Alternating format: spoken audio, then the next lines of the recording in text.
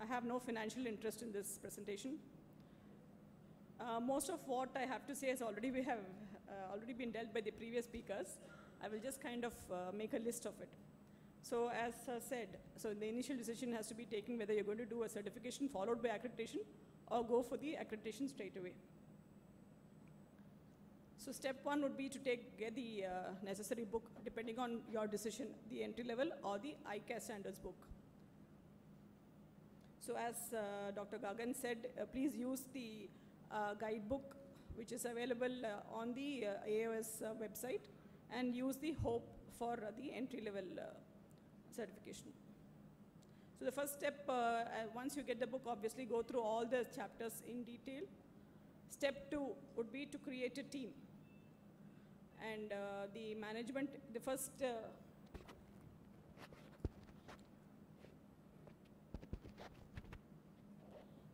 So the management has to decide uh, on whom they're going to give the responsibility of preparing the manual.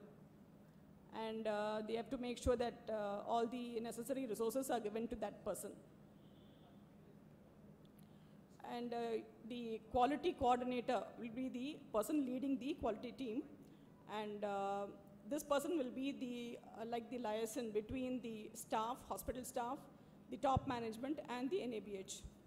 So the job description for this person will be decided on their experience and expertise in handling the quality work earlier.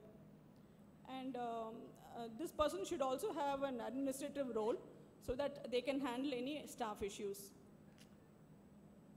So next would be to form a core team with a minimum of two employees from each department or area and different departmental teams.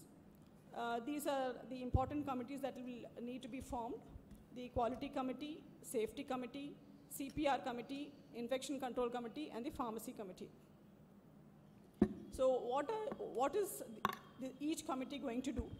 Basically, they're going to monitor uh, the hospital protocols and processes, evaluate and make sure there is improvement in the care of the patients. Uh, basically, they have to collect a lot of data and uh, evaluate them they have to make sure that the quality management uh, system is being implemented. So the, there's been a lot of talk today about the statutory and uh, regulatory issues, so I'll just skip that. So this is one way of doing it, how we do it in our hospital, so that uh, you must have a system of making sure the licenses are got. So get the license, then make sure they're updated.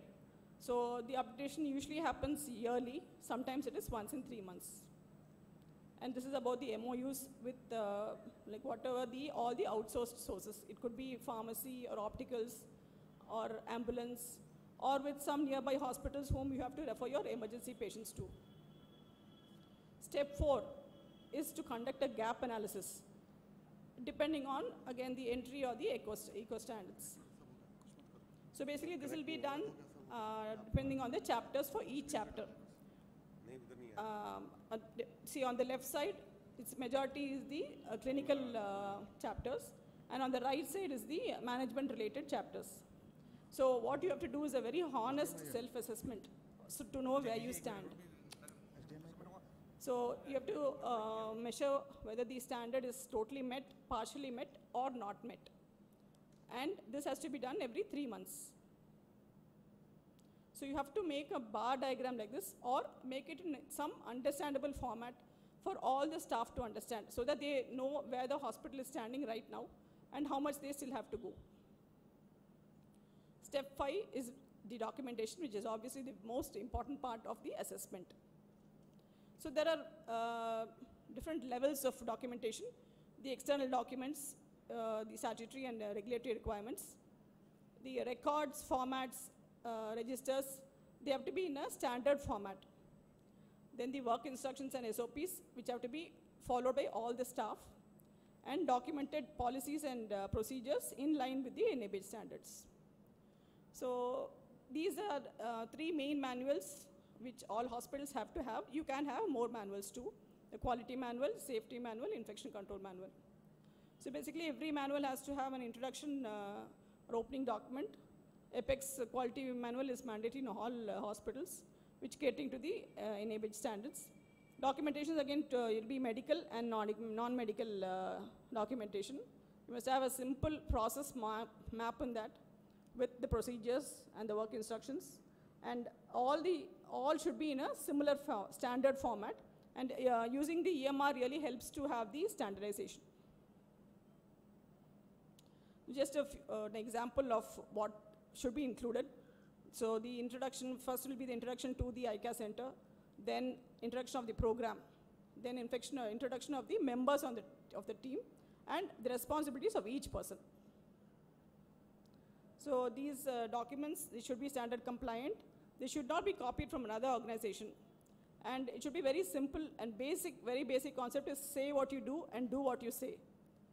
Decision regarding single and multiple manuals depends on the size of the hospital. So coming to step six, the, uh, the training. So this is for all, from the doorman to the chairman, includes all doctors, nurses, paramedical and administrative uh, staff. Mandatory training is for all the NABH orientation, fire drill, infection control. Focus training, training will depending, depending on their uh, job description. For example, BLS and uh, hand hygiene. Codes, uh, red and blue will uh, be for all. So implementation by skillful ex- execution. So uh, the patient care standards will be taken care by the physician, nurses, paramedical staff. They will also be working with and uh, supervising the organizational standards. So the patient care standards are departmental, uh, department specific and uh, the focus will be on assessment of patient, initial assessment, review ass- assessment, assessment before surgery, about the care plan, the clinical protocols of the hospital, then about patient education and explanation of disease outcome. See, organization standards run across all the clinical departments and they, it will include all these. Some of the organizational standards will uh, have more focus on patient safety, some on reducing errors, code blue, blue uh, fire safety, disaster management. So with the new system uh, requirements, you have some new things like the feedback or patient satisfaction surveys, then indicators, uh, as the uh, previous speakers have already mentioned, and employee satisfaction has to be included. Then you will have a lot of uh, review audits, reviews and internal audits, and uh, new policies like antibiotic policy. So the newly established system has to be implemented with a lot of focus on the customer, the staff, and you should make sure there is some improvement in the uh, care being given. So the audit, step seven is audit and continuous quality improvement. Internal audits are a requirement of the accreditation criteria of NABH standards. So basically, before the external assessor comes, the management wants to discover any, any weakness and any opportunities to improve. So they are a powerful management uh, tool in, to aid the quality improvement. So at least two to three internal audits have to be conducted uh, before the assessment. Based on the internal uh, audits, root cause analysis has to be done, and the corrective and preventive action has to be done. There should be the uh, root, cause, uh, root cause analysis should not be a fault finding uh, mission. Capturing indicators is very important, so you will have both clinical and managerial indicators. So basically ensure that NABH standards are integrated and implemented in the day-to-day functioning of the hospital. Step eight, once the internal audits are done and the gaps are closed, you're ready for assessment. So this, and then this is what you've been striving for to get the mark of excellence of the NABH. So just a few don'ts is, do not copy the manuals and do not take errors easily. So the root cause analysis and CAPA is very important. And um, don't lose your CCC, that's a consent, communication and counseling. And don't focus only on the certificate, okay? And uh, don't quit, enjoy the total, uh, the total process. Thank you.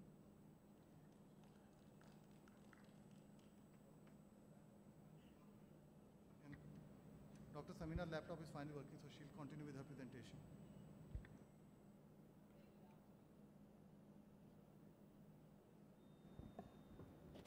A very good afternoon to everybody.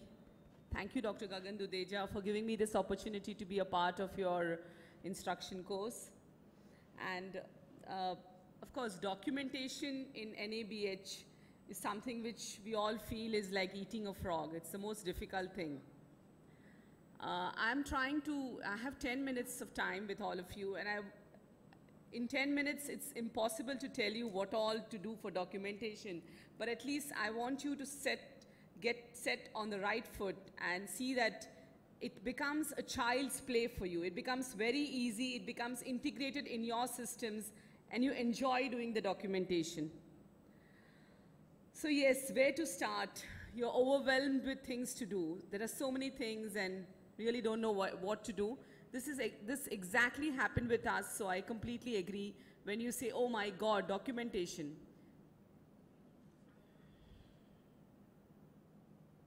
So these are the different levels of documentation which are there required for NABH. As you see, the, the first, and we have been telling you again and again, is external documents, statutory and regulatory requirements. Then we have record, formats, registers, and forms. Work instructions and SOPs were required. Documented policies and procedures, manuals, and APEX. Okay? Before I go to the APEX manual, I want to ask a question. How many of you have actually seen a standards book and opened it and read the standards? Tried to read the standards. Awesome, very good. So it appears like Greek and Latin, but it's very simple.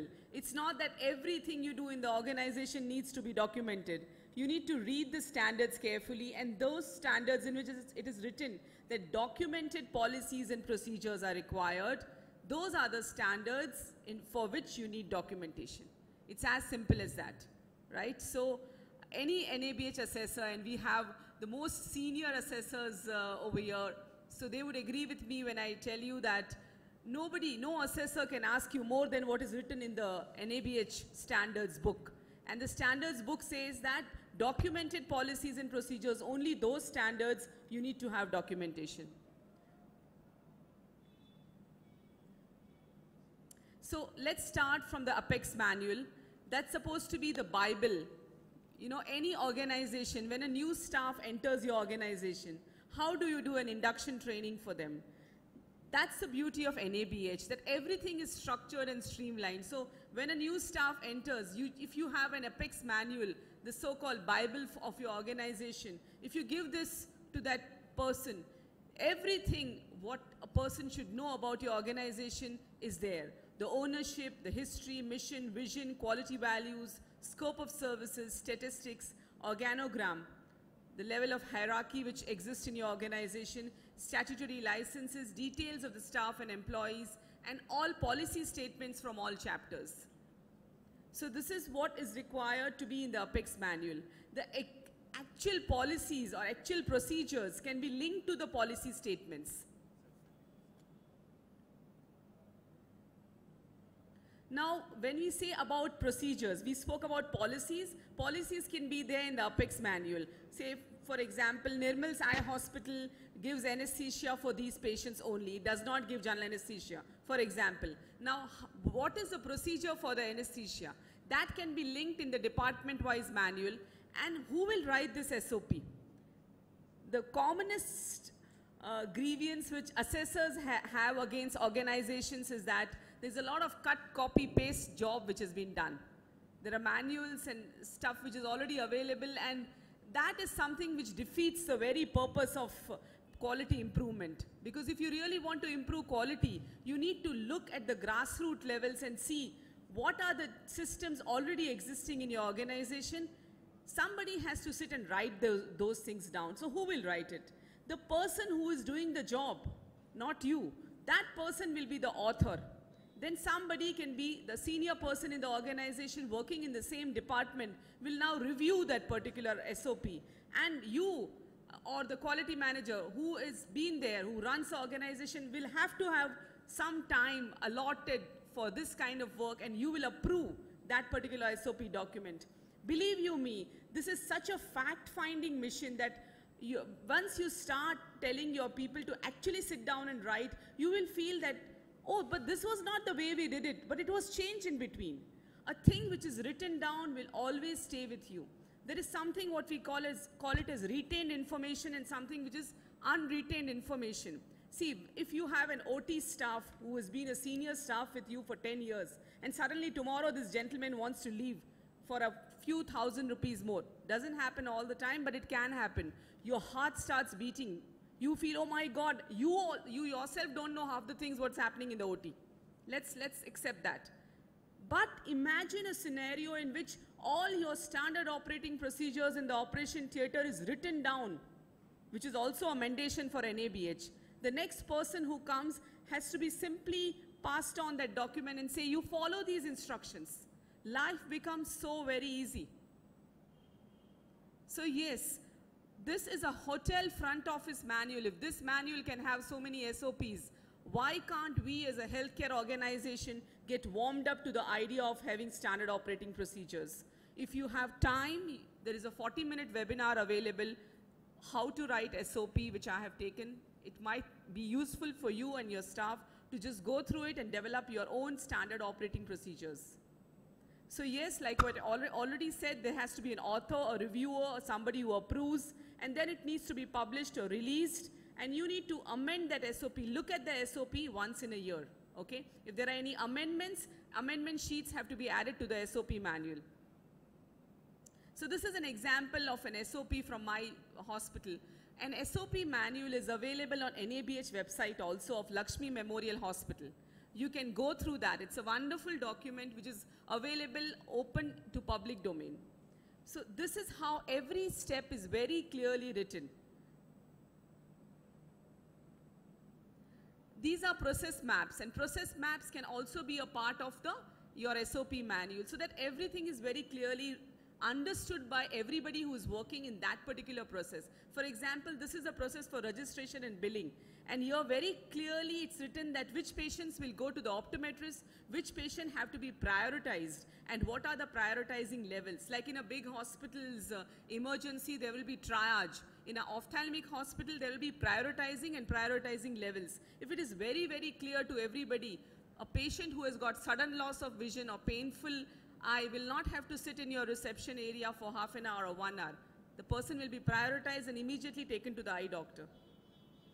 So these are a few registers which are to be maintained in the OPD, like the medical emergency, MLC, transfer register, verbal order register. I'm just giving you, uh, getting you warmed up to the fact that you might have to have some registers. And whenever you create registers, kindly do an indexing of the registers, which is very important. You can't create keep creating new forms and then suddenly someday you'll forget that that form was created also because it will not be there. It, it goes out of stock and then you forget about it. So please, whatever forms, registers, what you create in your hospital, there should be an indexing of that forms and registers also. For example, this is an MLC register. These are simple things. Uh, when I talk about MLC registers, uh, there are simple documents which can save your life. I had a, uh, a doctor in my neighborhood who had a medical emergency. A patient who was taken for eye surgery died on table. The one call I made to him immediately and said, whatever documents you have, please add a code blue document to that. I'm sure he must have tried a basic life support. I'm sure CPR was tried. But what does the code believe? Right? We believe only in God. Rest will have to show documentation. So if a code blue document is there, duly written and signed amongst your OT papers, this is going to help you in the court of law. And this is what NABH tries to help you in getting structures and systems in place. So there are different SOPs. I'm just giving you examples. The most important chapter for documentation in NABH is COP, care of patients. And in care of patients, whichever standard shows documented policies and procedures are required, the documents are required. For example, these are the documents required, these are the SOPs required in the chapter COP. Forms and formats for COP chapter. Staff training. Once again, you need to maintain staff training documents. We have trained, the staff knows, but you need training documents. And how do you create training documents? I will also show you that.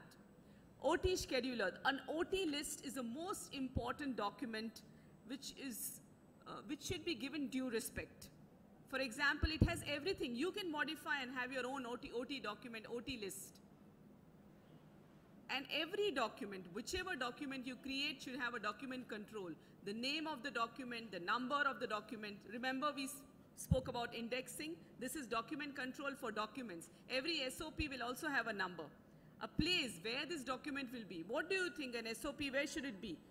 Somewhere in the administrative office? No, a working SOP should be available at the workplace. That is the most important thing. It's like a ready reckoner document. No, just don't do documentation because it is a mandation from NABH. Make NABH work for you. Make the documentation work for you. Make it, uh, take its help to make your systems more efficient. So every document will have a retention period, a person who's responsible for the document, and of course the quality manager will release that document. So I'm just giving another example, a surgical safety checklist.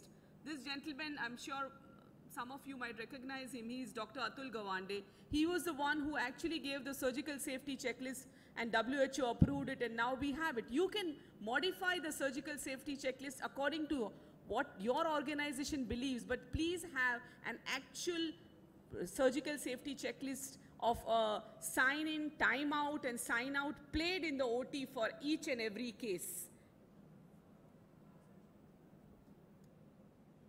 And eh, Eh, for any training, the first thing is that in the beginning of the year itself, you need to roll out a training calendar. Okay? Your staff should now get warmed up to the idea of training, regular trainings. So what, what do you need for a training to be effective and a training to be structured well? At the beginning of the year, you're already rolling out a training calendar. You're informing the staff again closer to date. You're doing the training. The first thing what you do for the training is discuss the pre, if, you, if it is a meeting or a committee meeting, you need to discuss the action taken for in the previous committee meeting. And all training is documented, the agenda, the trainer, the people who are trained, their names, signatures, absentees are retrained. Okay? Yes. Sure. So I think this is, I, I, I, I'm going to wrap up over here. Uh, but believe you me, you need to remember that do the documentation for the right reasons. If you can take this take home message today from my talk, I think I'm successful. Thank you so much.